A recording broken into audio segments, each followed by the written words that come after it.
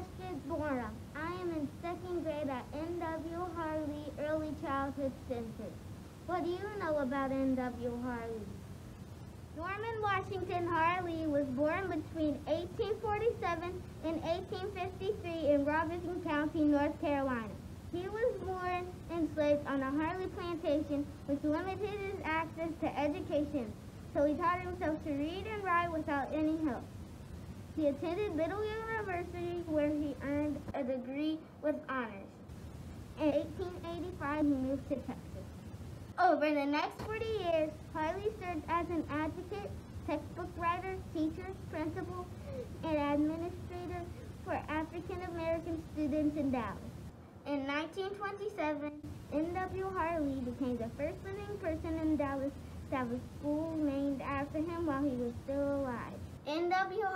Was a black pioneer and is an important part of the American history.